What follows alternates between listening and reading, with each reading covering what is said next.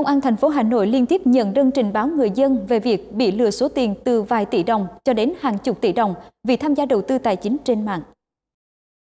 Ăn theo các hình thức lừa đảo trực tuyến trên các mạng xã hội cũng xuất hiện lời mời chào hỗ trợ lấy lại tiền bị lừa đảo. Cơ quan chức năng ghi nhận có nhiều trường hợp người dân đã bị lừa lần một, sau đó lại tiếp tục bị lừa lần hai và nhiều lần khác bởi những hội nhóm mạo danh lực lượng an ninh mạng, các văn phòng luật và ngân hàng.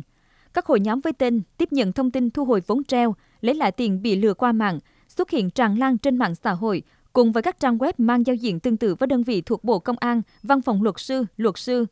Khi người bị hại muốn lấy lại tiền đã mất, đối tượng yêu cầu gửi giấy tờ chứng minh bị lừa và đóng tiền phí ban đầu, tra soát thông tin từ 3 đến 5 triệu đồng.